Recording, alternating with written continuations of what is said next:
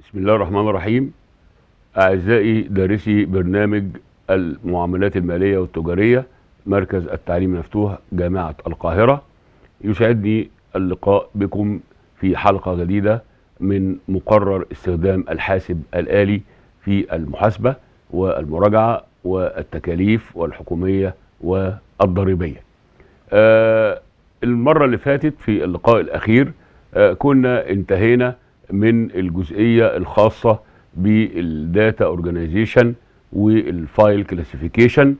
والنهاردة إن شاء الله بنبدأ في آه جزئيات آه جديدة في المنهج وهنبدأها بداية آه بجزئية خاصة عن ال secondary storage أو التخزين الخارجي.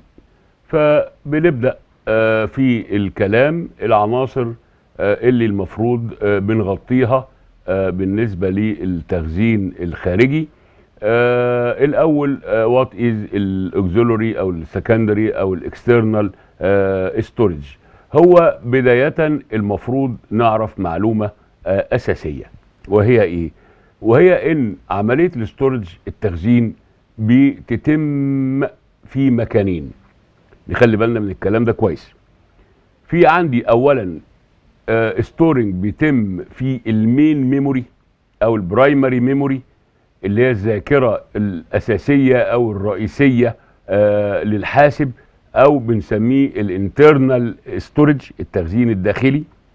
وفي تخزين بيتم على وسائل تخزين external آه خارجية. طيب إيه السبب؟ يعني أنا ليه بعمل كده؟ هو ال memory بتاعة الحاسب مهما كان. الحاسب اللي عندك يعني كبير وحاطط فيه إمكانيات برضو ال memory محدودة.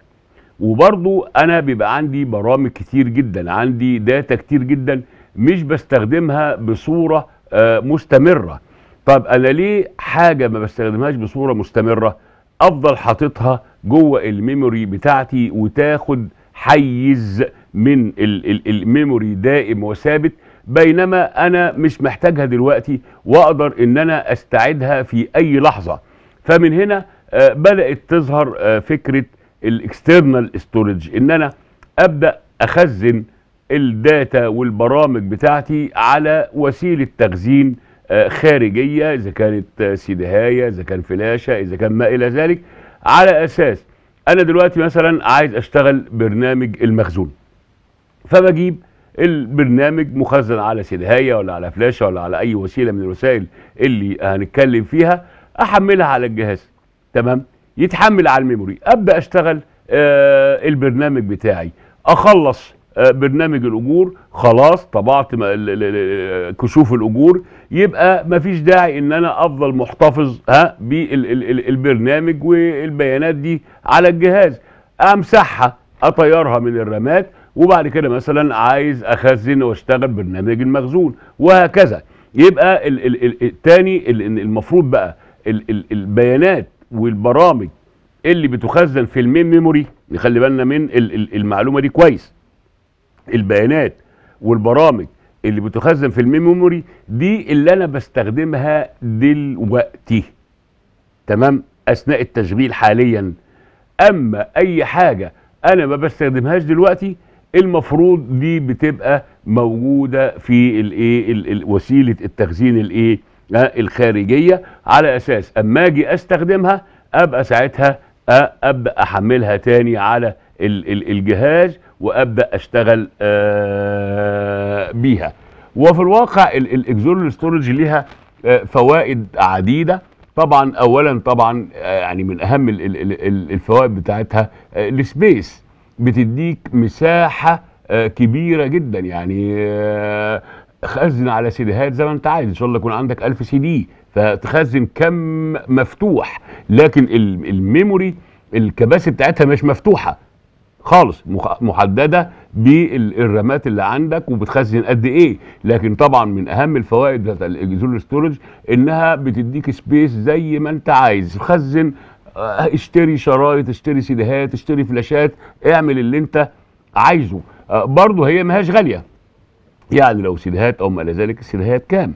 آه، برضو نخلي بالنا عملية ال- ال- ال- اللي اتكلمنا عنها آه، في chapter 3 عملية ال ال ال ال ال ال ال إنها تفقد آه، آه، بانقطاع الكهرباء أو ما إلى ذلك.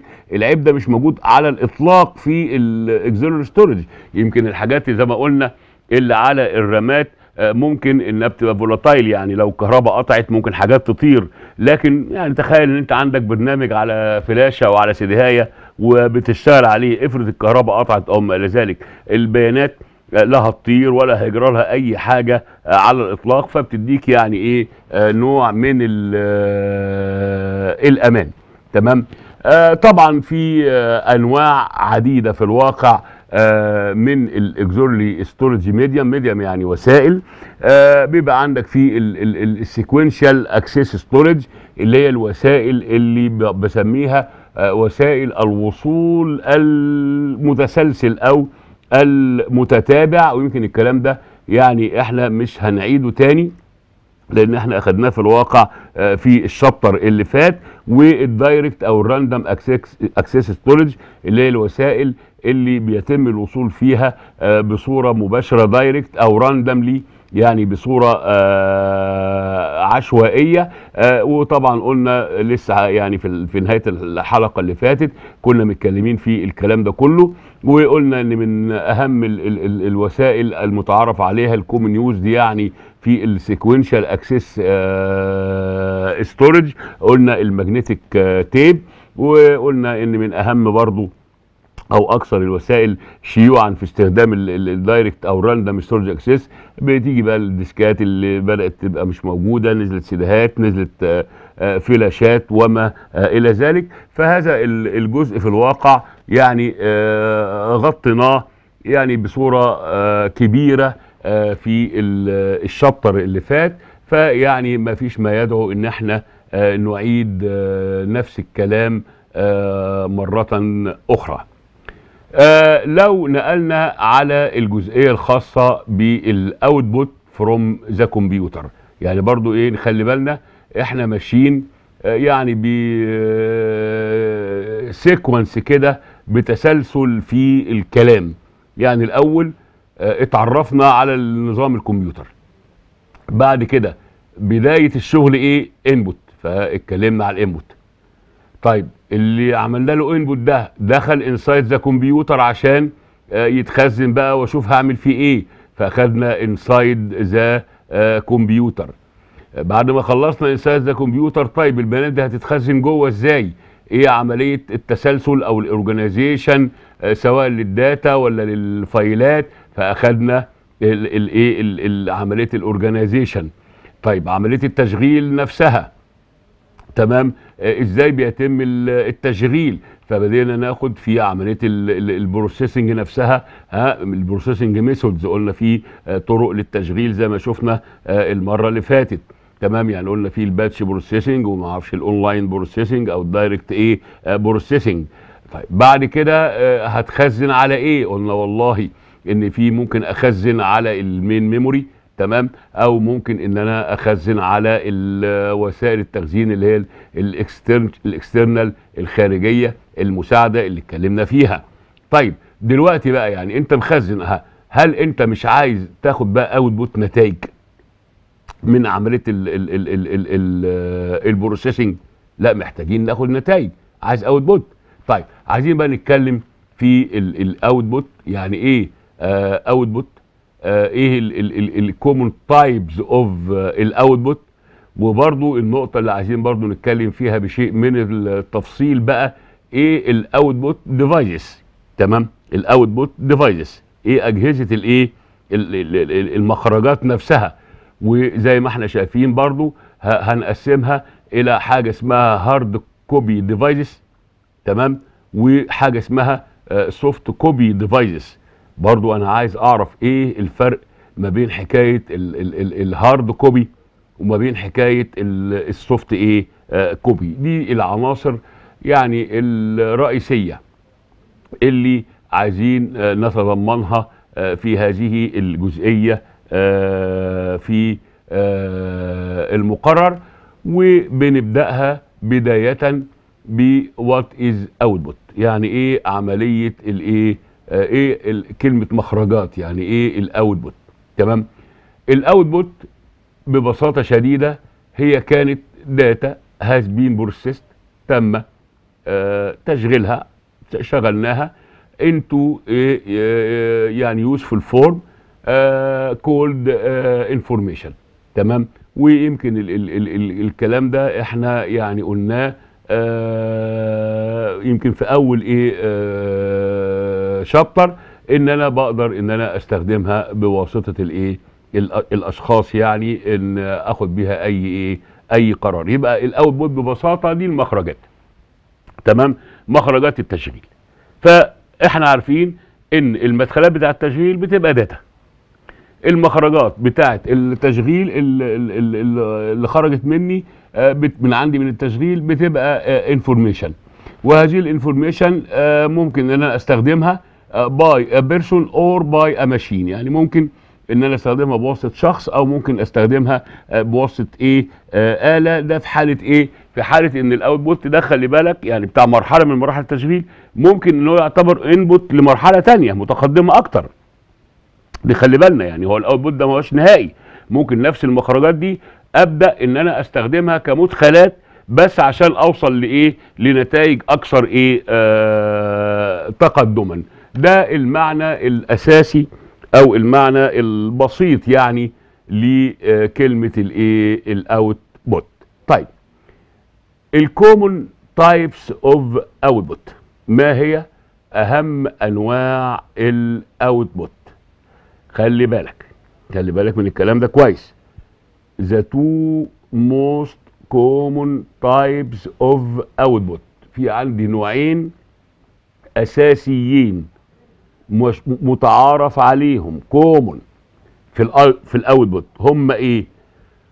اللي بيخرج لي إيه؟ إما بيخرج لي في صورة reports تقارير أو بيخرج لي في صورة graphics رسومات بقى ويعني إيه؟ آه خرايط و maps كده وهنشوف الكلام ده يمكن يعني في جزئية آه في في المنهج كده في chapter آه 8 آه هناخد فيها عملية الجرافيك دي بشيء من ال- من التوسع.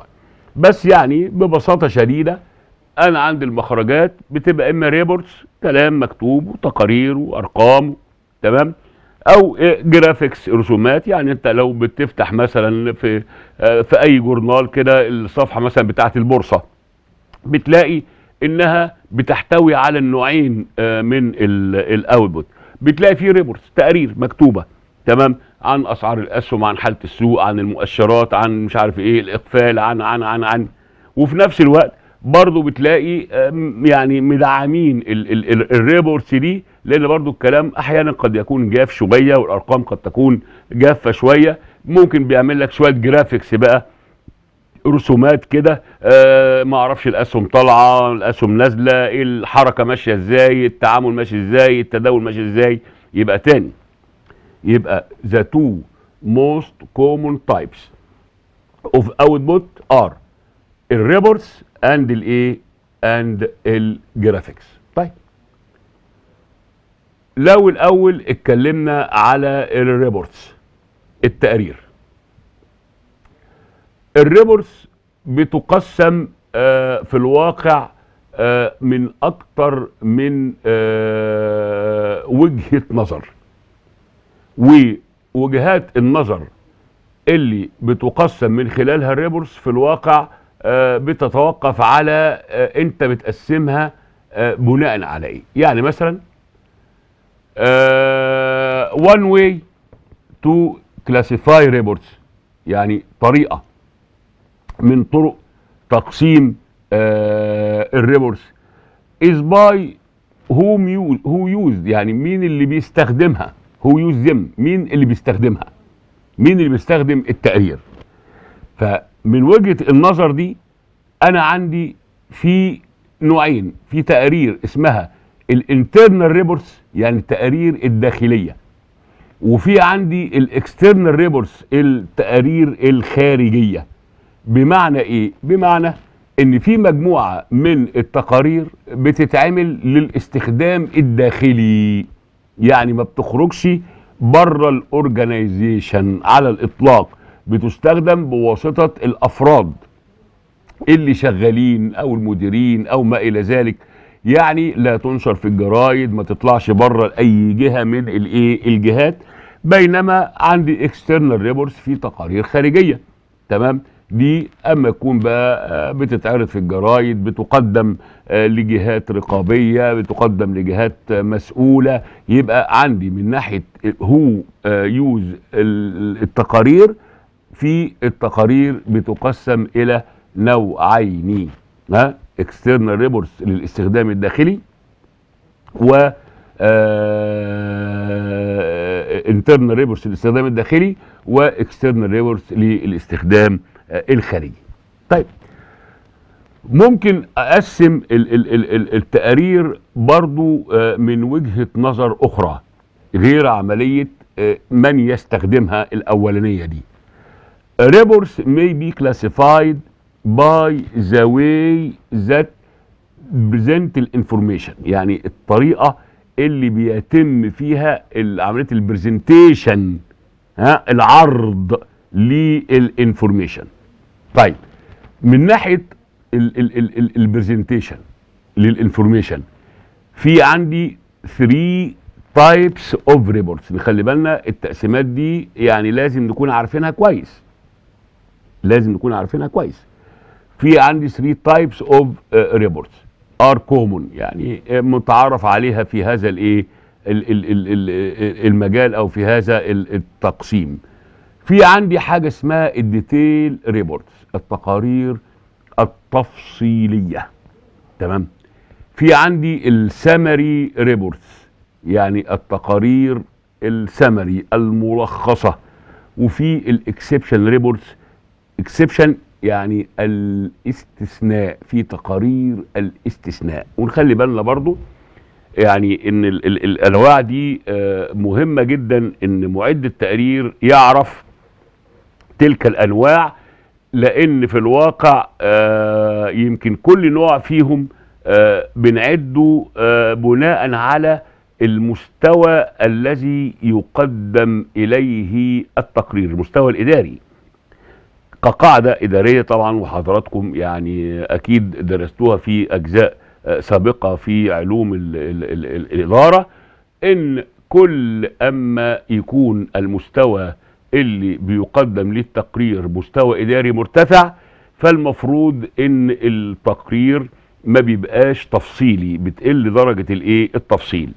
فالمستوى الأول ده بتاع الإدارة التنفيذية بقى اللي هو ال detail reports بيكون فيه بيانات تفصيلية عن الأحداث آه، التشغيلية اليومية اللي بتحصل. طبعا ال detail report ده بيبقى فيه يعني إيه آه lot كبير من ال data وال information. قد يكون المديرين ذو المستوى الأعلى ليس عندهم وقت إن هم يعني يدرسوه أو ما إلى ذلك. تمام؟ لذلك بيعد بعد كده نوع من التقارير اسمه ال summary reports. تقارير تقارير ملخصة. نخلي بالنا ال summary reports دي بتكون بتتضمن totals دي اللي موجود في ال detail reports تمام؟ يعني بجيب ال detail reports دي وأعمل totals بقى مجاميع. تمام؟ بدل ما أمسك كل بند وأقول تفصيل تفصيل تفصيل تفصيل لا أدي total total total total total على أساس يعني إن مستوى المديرين الأعلى ممكن إن هو يكفيه. ال total ولو حس إنه عايز يرجع لحاجة يا سيدي يبقى يرجع لل detail إيه؟ آه reports. أمال بقى إيه ال exception reports؟ تقارير الاستثناء. دي اللي بتتقدم بقى لمستويات الإدارة العليا قوي بقى. تمام؟ اللي هي يدوب إن أنا ما بدلوش آه إلا يعني ال ال ال الحاجات اللي خارجة عن الحدود المسموح بيها اللي هي المشاكل. يعني أنا ما أجيش بقدم رئيس مجلس الإدارة أقول له مثلا إن ما أعرفش قسم التشغيل ألف آدي بياناته التفصيلية. يا سيدي أنا مالي تمام؟ ولا حتى آدي الإجماليات. لا هو عايز يعرف. أقول له إمتى على قسم التشغيل ألف؟ لو في مشكلة. لا خلي بالك ده قسم التشغيل ده الماكينات اللي فيه ما أعرفش مالها. دي عايزة تتغير دي عايزة عمارات جسيمة دي عايزة ما أعرفش إيه دي عايزة إيه. آه يبقى ده بديله اللي هو الإيه؟ الحاجات اللي فيها يعني انحرافات آه، فوق العادية أو خارج نطاق الحدود المسموح بيها ال- المشاكل اللي ممكن تبقى آه، موجودة. يبقى دي اللي بتقدم للمستويات الإدارية الإيه؟ آه، العليا بنكتفي إن إحنا نديله إيه الاستثناءات إيه المشاكل غير العادية اللي خارج الحدود المسموح آه، بيها.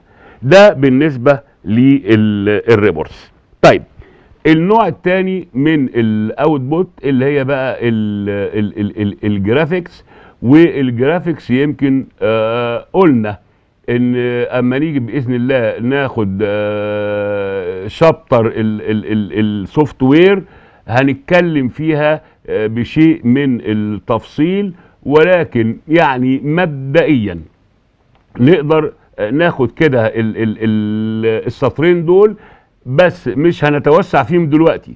بس أول ما أجي في شابتر 8 وأتكلم في آه، برنامج الجرافيكس هقول لك آه فاكر بقى السطرين كانوا بيقولوا إيه؟ اهم جولك تاني بس بشيء من التفصيل. ان the most popular types of charts أو of graphs يعني أشهر أنواع ال- ال- ال- الخرائط وال graphics تمام؟ في أنواع كده في ال pie charts اللي هي خرائط المقطعية أو الدائرية وفي ال bar charts اللي هي خرائط الأعمدة وفي ال line charts اللي هي آه، خرائط الايه الخطوط. فمعلش يعني مش عايزين دلوقتي نتكلم في آه، الكلام ده آه، على أساس زي ما قلنا آه، إن أنا آه، هيبقى عندي آه، يعني آه، جزء خاص كبير آه، بالايه ال graphics وأنواع ال graphics هناخدها بصورة آه، تحليلية آه، أكتر آه، من هذا. طيب دلوقتي إحنا عايزين بقى ننقل على آه، نقطة آه، تانية آه، مهمة وهي ال output devices يعني آه، آه، المخرجات. أجهزة المخرجات. تمام؟ إيه بقى ال devices اللي بتخرج لي آه، المخرجات بأنواعها الكتيرة اللي إحنا اتكلمنا عليها آه، دلوقتي؟ يعني يمكن دي هتبقى فاكرين اما اتكلمنا في ال input devices تمام؟ برضو يعني دي بقى المقابل ان أنا لازم آه، اتكلم في ال output device اولا نخلي بالنا نركز لو تكرمنا آه يمكن طبعا يعني إحنا هنبعد عن الاجزاء الفنية تمام؟ الهندسية على أساس ان ده بره آه، مجال تخصصك. لكن يعني على الأقل آه، لازم تعرف ال devices دي ك user. يعني ما يبقاش قدامك device آه، وما انتش عارف ده بتاع إيه. يا سيدي سيبك من إن هو جوه بيشتغل إزاي وميكانيكيا. لا يا سيدي أنت ما انتش مهندس. أنت راجل محاسب آه، يعني كبير وراجل محاسب زي الفل. بس الفكرة إنك برضو لازم يكون عندك يعني آه، قدر من المعرفة. إيه ال device اللي قدامك ده؟ فمبدئيا يا اساتذه زي ما إحنا شايفين كده على الشاشة. ال output device بتنقسم لنوعين رئيسيين. يعني device يعني أجهزة أجهزة المخرجات. فيها hard copy devices وفيها soft copy devices آه ده إحنا الكلمة دي كنا قلناها في بداية الكلام بس ساعتها ما قلناش يعني إيه hard copy ويعني إيه soft copy نخلي بالك. المفروض إن المخرجات اللي بتخرج لي ممكن تبقى hard copy يعني مخرجات printed on a paper مخرجات printed on a paper يعني مطبوعة على ورقة. يعني خارجة من إيه؟ ها؟ مطبوعة مخرجات مطبوعة. خارجة من إيه؟ خارجة من مجموعة من الأجهزة اللي هي بتبقى hard copy devices. هو طبعا أشهرها ال printer. بس حالا هنعرف إنها لا تقتصر لا ما بتقتصرش بس على ال printer. لا ده في devices تانية برضو بتديني hard إيه؟ copy. بس يعني أقول لك آه أشهرها ال printer يا سيدي. وهنقول حالا إيه الأنواع التانية. بينما ال soft copy بقى تمام؟ ال soft copy دي دي بتبقى مخرجات مش مطبوعة. مخرجات مش مطبوعة. ال soft copy. يبقى خلي بالك ال hard copy وال soft copy. مخرجات مش مطبوعة. أمال إيه حكاية ال soft copy بقى دي؟ دي ممكن تبقى مخرجات displayed on the screen يعني معروضة على الإيه؟ آه على الشاشة. أو ممكن زي ما هنشوف بعد شوية ممكن تبقى audio تبقى مسموعة. هنشوف. بس المهم إنها ال soft copy دي ما هياش printed يعني الفرق الأساسي بين ال hard copy ها؟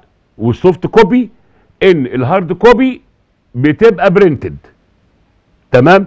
لكن ال soft copy ما بتبقاش printed ها؟ بتبقى إما display on the screen يعني أو ممكن تبقى مسموعة بقى زي ال audio آه، وما إلى ذلك يبقى دلوقتي بداية ال output devices أنا بقسمها إلى نوعين رئيسيين من ال devices hard copy devices soft copy devices طيب نمسك بقى بالدور نمسك بالدور.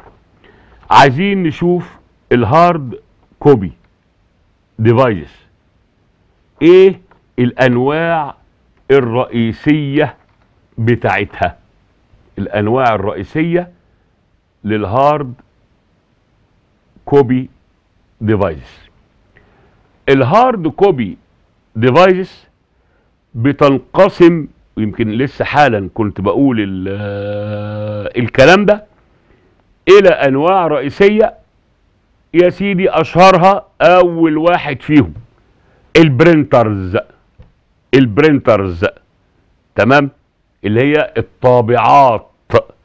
وطبعا لازم بقى نمسك ال printers دي ها وهي اللي أكيد هنتوسع فيها لأن هي طبعا يعني أكثرهم آه، شيوعا واستخداما آه، بينا يعني بين ال users والناس التجاريين وكده آه، كل واحد في مكتبه أكيد عنده الإيه؟ printer. علشان يطبع بيه ال- ال report ات وما إلى ذلك. فعايزين بقى نبقى نشوف ساعتها أنواع الايه ال- ال- ال- ال- ال- ال- ال printers دي إيه. لكن هناك devices أخرى تعتبر hard copy ولكنها مش printer. زي إيه؟ زي ال plotters. ال plotter ده القلم الرسام. القلم الرسام. ده بيستخدم بقى بواسطة إيه؟ إخواننا بقى المهندسين تمام؟ وإخواننا المصورين وبتاع الرسومات. ده جهاز إخراج بيرسم. يرسم لك لوحة كبيرة يرسم لك باكيت كبير. أكيد طبعا إحنا يعني كمحاسبين آه، ما بنستخدموش. لكن هو يعتبر device بينتج لي hard copy لأنه بيرسم لي لوحة. تمام؟ فهي printed اهي فيعتبر من ضمن ها فصيلة الايه؟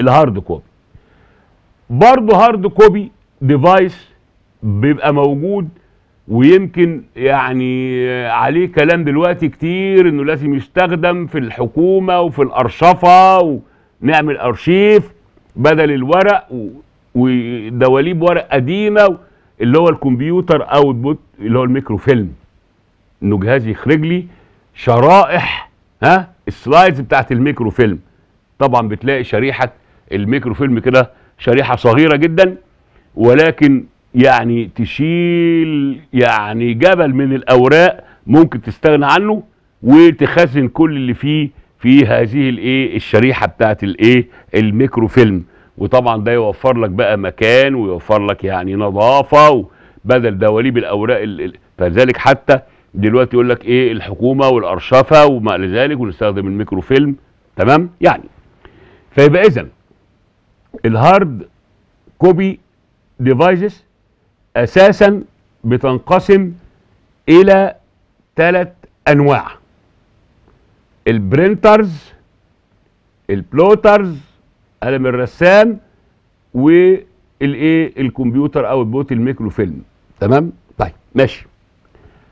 عايزين بقى نمسك ال printers بالذات. تمام؟ يعني إحنا لا هنتكلم في ال plotters يعني مش بتاعتنا ولا هنتكلم في آه الميكرو فيلم هنشوف الوسيلة اللي بتستخدم يعني آه بشيوع تمام؟ وهي الايه؟ ال printers. إيه انواع ال printers؟ إيه انواع ال printers؟ ويعني إيه نمشي كده مع بعض. آه واحدة واحدة. ال printers أساسا بتنقسم إلى طائفتين.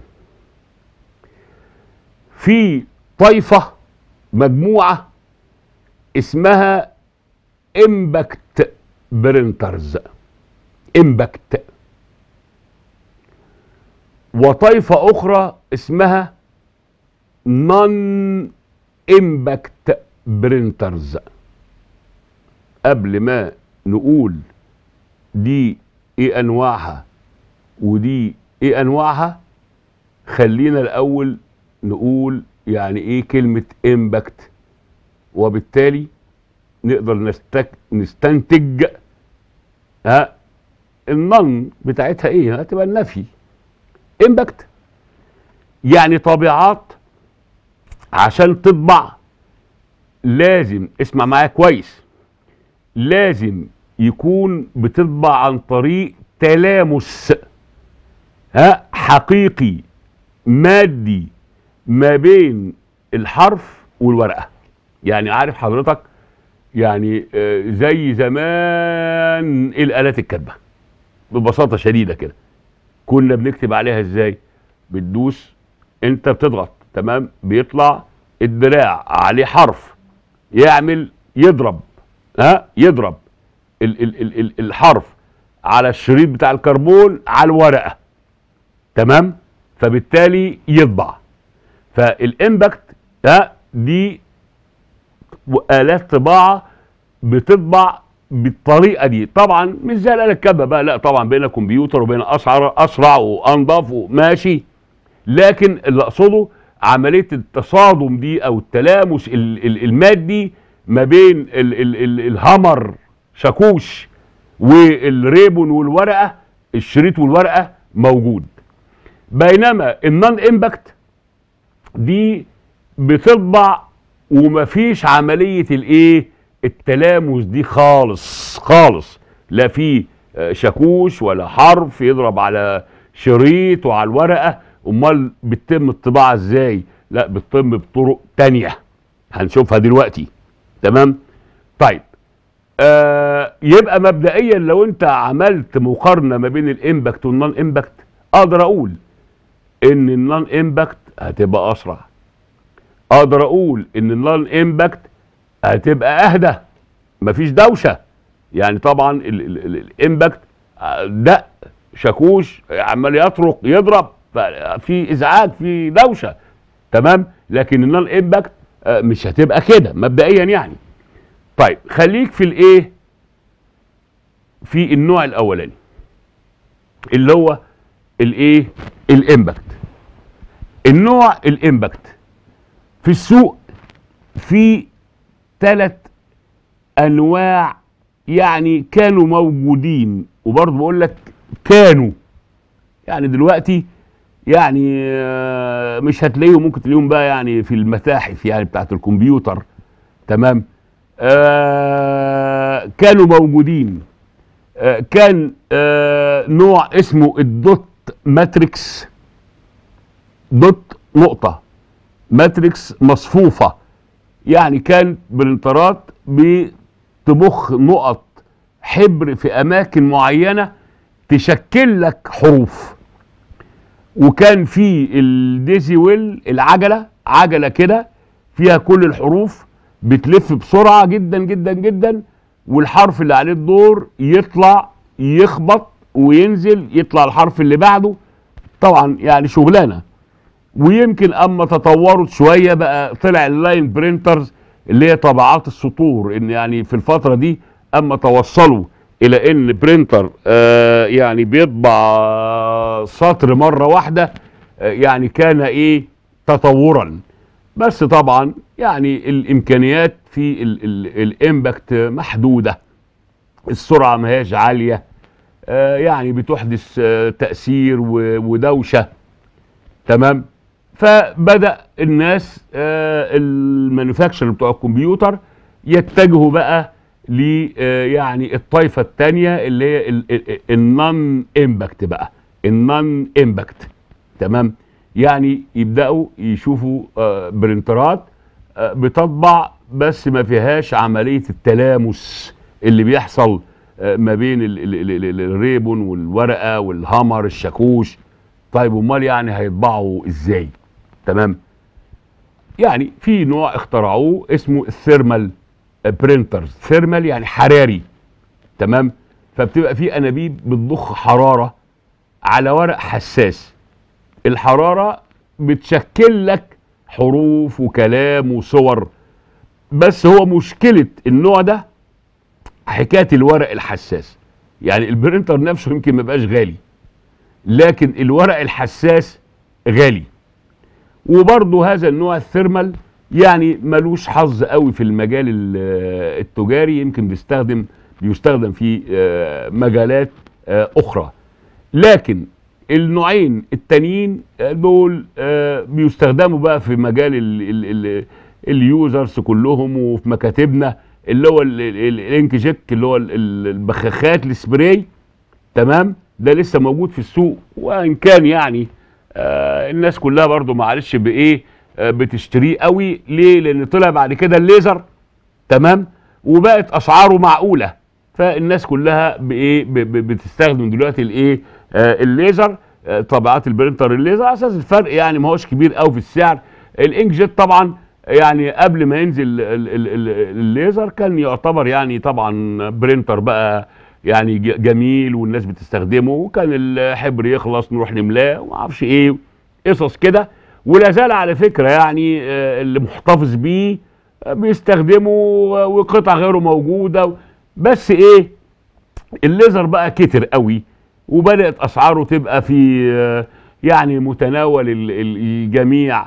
وبدأ فرق السعر ما بقاش عالي قوي إن أنت تجيب بقى طابعة إنك جيت وتقعد بقى تدور على القطع الغيار ومش عارف إيه والكلام ده.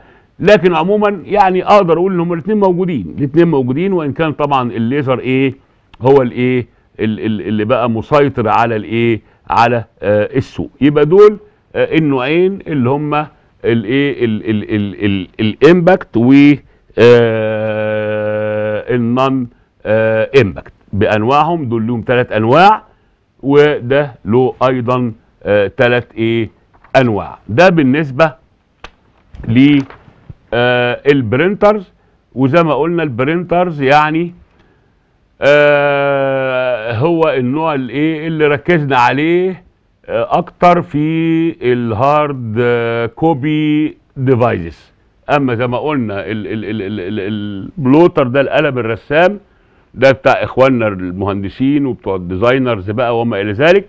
يعني إحنا مش هنستخدمه.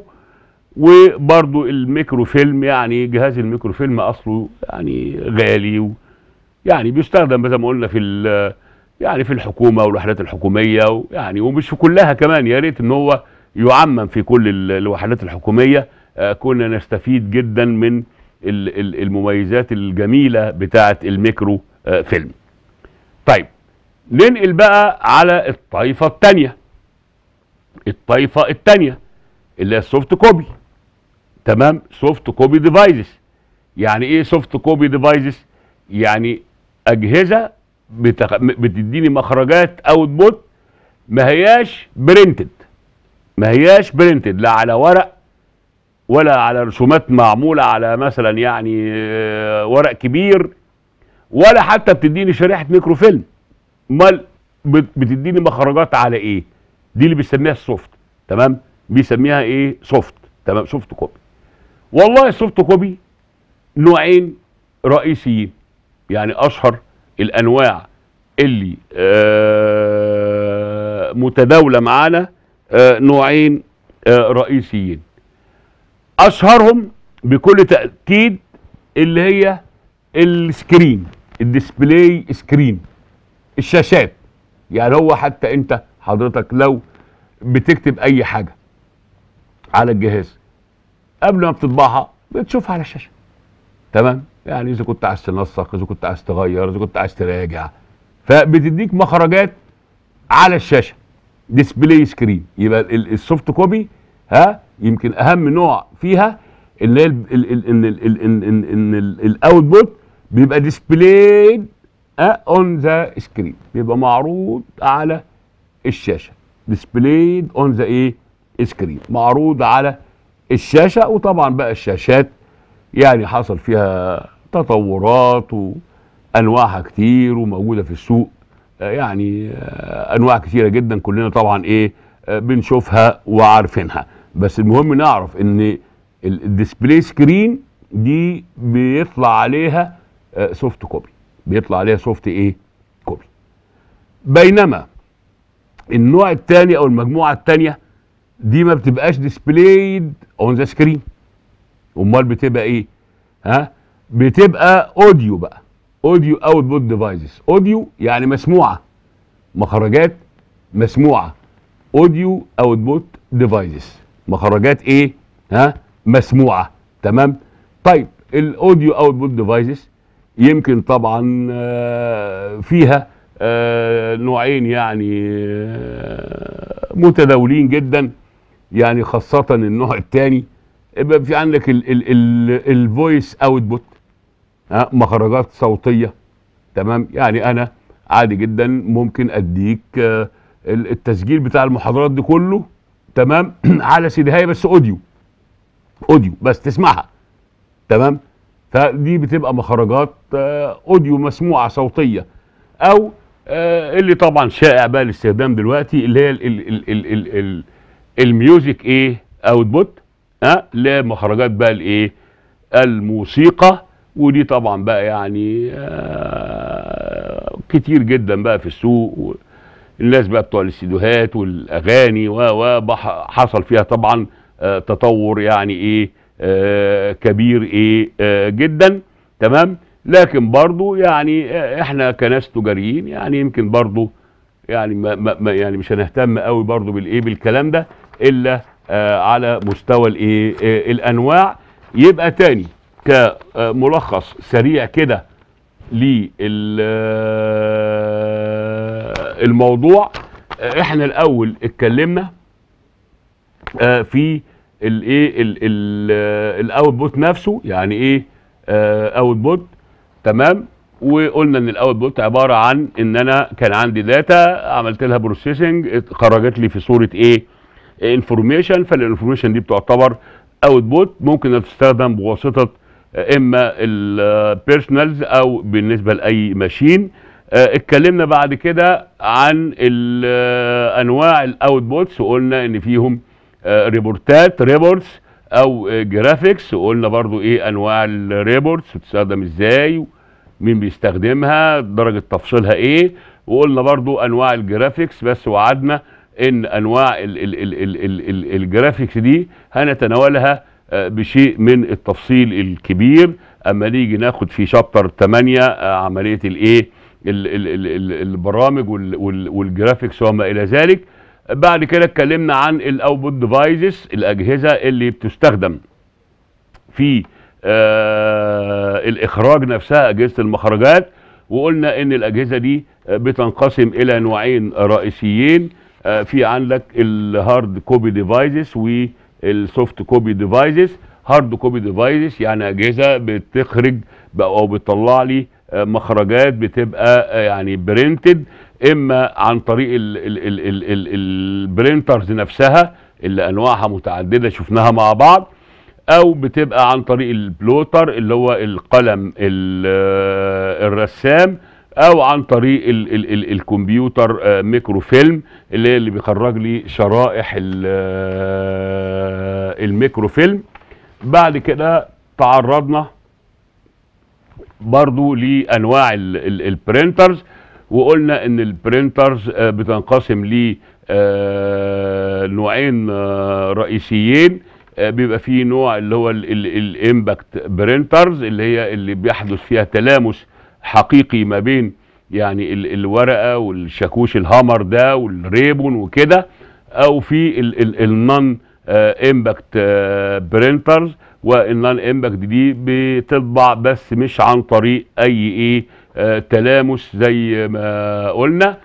آه واتكلمنا برضو على أنواع ال impact printers هي إيه.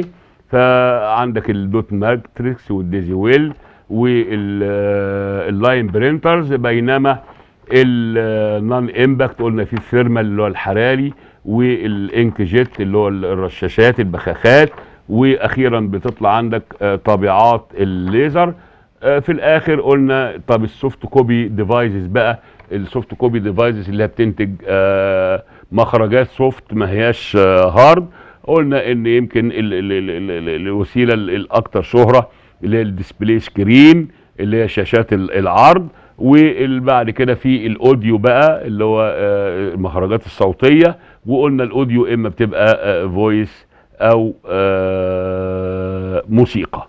وبكده يبقى انتهينا في هذه الحلقة للتعرض لنقاط هامة ورئيسية في المنهج المتعلقة بال secondary storage التخزين الخارجي ووسائله المختلفة. وبعد كده تعرضنا لل output devices واتكلمنا عن أنواع مختلفة لاجهزة ال devices يعني اللي بتنتج لي الايه ال output وفي نهاية الحلقة يعني نرجو إن إحنا نكون إن شاء الله آه، وفقنا آه، في عرض يعني ملخص جيد للنقاط الرئيسية اللي تضمنتها آه، هذا الجزء في المنهج. وإلى لقاءات قادمة أترككم في رعاية الله والسلام عليكم ورحمة الله وبركاته.